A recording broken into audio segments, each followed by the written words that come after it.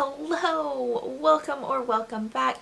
My name is Ari and today it's the chopping block for the feminist book club book box.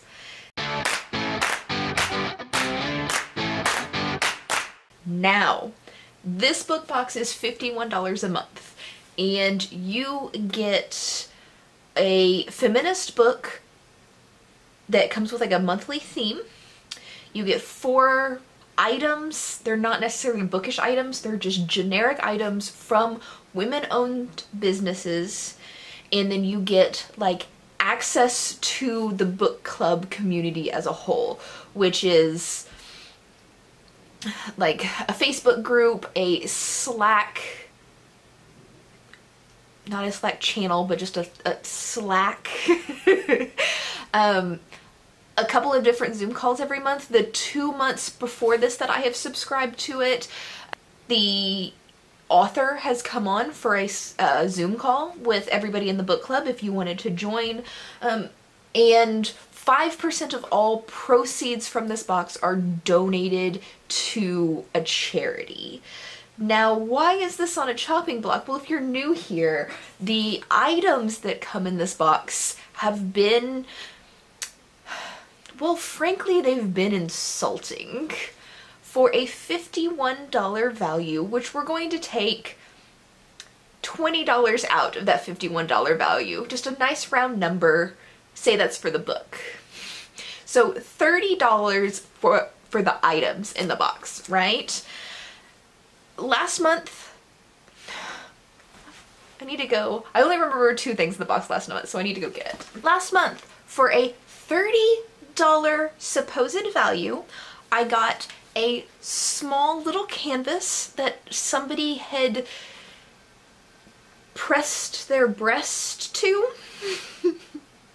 so unsolicited nudes. I got a magnet. I think I still have the magnet right here. I, I got a magnet. I got a temporary tattoo about the size of my thumb that I could have easily gotten from, oh, a quarter machine at a mall in the 90s.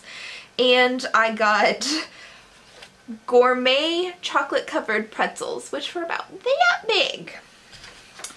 Um, that was not a $30 value. I don't even know that that was like a $5 value.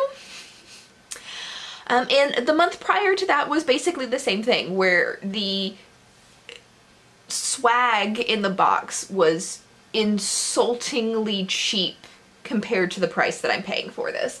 So basically the question is, are they going to continue to be very insulting with their swag items? Am I going to cancel this? Find out at the end of the video. As always, you guys get first peek. If I could pry this shit open. Wow. Ugh. There we go. And it's a purple box. Yay. That was anticlimactic, wasn't it? There you go. Now let's start with the book. Uh, this month's theme is the Caribbean and I do have to say that the book box owner did something very interesting for this book box. She asked us in February, or asked the community in February, like, the theme this month is Caribbean. Please nominate Caribbean books that you would want to read. And I know what this book is because the book that I nominated was the book that got selected. And it is Here Comes the Sun by Nicole Dennis Benn. Um, why did I nominate this? Because the Beatles song gets stuck in my head every time I read this title. That's that's it. I have no idea what this is about other than it's a Caribbean novel. Uh, other than it's a Caribbean novel and a Beatles song. but thank you for falling over. I will be reading this by the end of this video, so if you want to know more about this book, stick around till the end and and you'll find out all sorts of things about this book. Next up, I have a candle. I like candles. It's a very tiny candle. Um, this is Island Vibes by Natural Annie Essentials. Um, I don't... It smells like a pina colada. Like just straight up like alcohol. Alcohol and suntan lotion. I love it. I have to admit that the candle is one of the better things that I've gotten in this subscription box. Um, she always includes like a personalized, very, very short, like one sentence little note and it's just, Ari, enjoy a slice of the Caribbean sun. Next I have whatever's in here.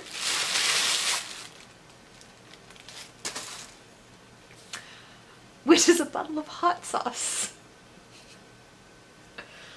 Okay. I wasn't expecting that. Uh, uh, this is Pizcaya, I think is how you say it. Uh, Caribbean hot sauce born in Brooklyn. Um, this is scotch bonnet peppers and a smoky sweetness and heat. And yeah, it's it's hot sauce. I'm I'm honestly not mad right now. I like candles that smell like suntan lotion and I like hot sauce. So I'm not mad. The final thing in here is a headband. Um, this is from Afro Accessories. Something. I don't know what this is. Afro Esseries. I think is the brand name. It's it's just a it's a headband.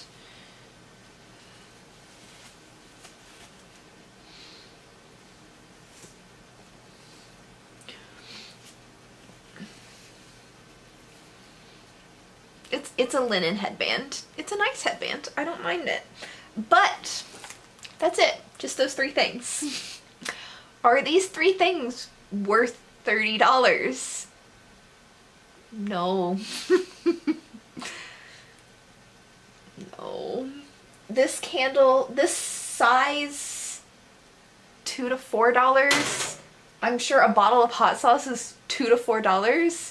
And maybe this is like a $10 headband, but that's still not anywhere close to $30. And we only got three things this month instead of four. Um, this could have, this is an interesting month because um, there was three separate businesses that we could have gotten a candle from. I got mine from Natural Annie Essentials, but I could have gotten one from Marie's Hollow or Desi Essentials. And then um, the headband could have been from two different companies as well. Um, I did get mine from Afro Esseries. Um, but I could have gotten one from Candy Pink Designs. And the charity this month is Eve for Life, um, which supports women and children living or affected by HIV and AIDS. So it's a good charity. I'm not, I'm not mad at that. So this book box is definitely getting canceled.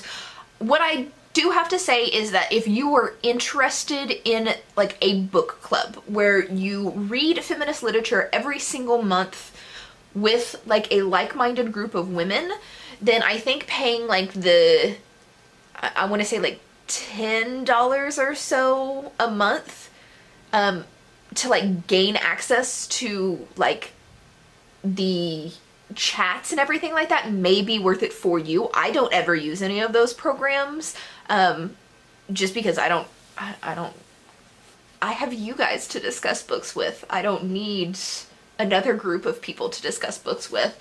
Um, so, but if, if being like on a Zoom call talking about books, like chatting with feminists, things like that, if, if that sounds interesting to you, then I would do like the base subscription of this. I would never suggest anybody get like the box because the swag items just aren't worth it. I mean, this month is by far the coolest and I still don't think that this is worth it. Um, the books are hit or miss, but I mean, every book's going to be like that. And then the two lower subscriptions, you can get one where you get access to all of the stuff and they send you a book, or one where they just tell you what the book is and you can buy it on your own. I would recommend you buy the book on your own because I bet you're going to save money that way. Because the price of books are always going to fluctuate, but the price of the monthly subscription never fluctuates. So, I will be back in just a few seconds to tell you what this book is about and what I thought of it. Hello, I have finished Here Comes the Sun by Nicole Dennis Benn. Uh, this one, this one's kind of rough to rate because like the story was powerful, the writing was very good. Um, you could easily tell the difference between like authorial voice and like the characters because a lot of the times when an author writes something from a character's perspective that sounds like racist or homophobic or something like that it sounds like the author is racist or homophobic this book like you can clearly see that the author knows that the racism and homophobia and everything is bad um, and is using it as an example of like the horror of these women's lives. So, what is this about? Um, let let me see if I could do this without giving any spoilers. But this takes place in Jamaica in the early 90s, and it's from the perspective of um, very, very poor black women because Jamaica is like a tourist attraction, right? It's not, it, and it's kind of the conversation of like white people will go to Jamaica being like, oh my god, this place is so beautiful, and not really see like the underlying problems they cause with their privilege through their tourism, um, which I could expand on, but I'm afraid it's a spoiler if I expand on that. Um, these women have nothing. They have no money. They don't really have any agency or anything like that. And it's kind of a discussion on how do you wrestle a very very small amount of control over your your body when you really have no control over yourself and your body um, it also discusses that like money doesn't buy happiness, but maybe it helps in an interesting way.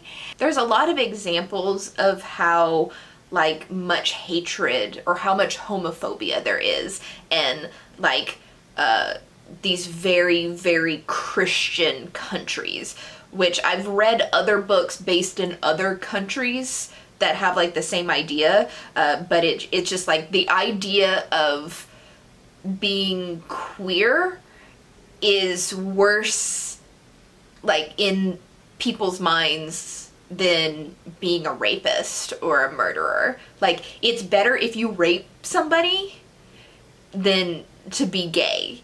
And a lot of the solutions to women like the solution to a man being gay is the men will be killed. The solution to women being gay is they will be repeatedly raped by men to be like, you're not queer. Like, this is what you want. This is what you're naturally supposed to desire. Some icky bullshit like that. Um, so I hope those themes kind of like imply that this is a very dark, depressing kind of story. And the book sets up for like the kind of story that I like where it's really sad, um, like no sign of a happy ending anywhere, even like with the possibility of a happy ending, it's just like dark all the way through. Um, but uh, I, I don't know, I found like absolutely no enjoyment of this book just because the lives these people are leading are so so awful yet believable. I think that's my thing is that I like dark depressing books but they need to be dark and depressing about situations that are obviously fiction. If you were to tell me that this was like a true story, I would entirely believe you. And I think that's why I can't like appreciate something like this as much as I typically do with like dark and depressing things is because it doesn't seem fictional. It seems like people probably really have lives very similar to this and that makes me sad because I don't want people to have to deal with shit like this.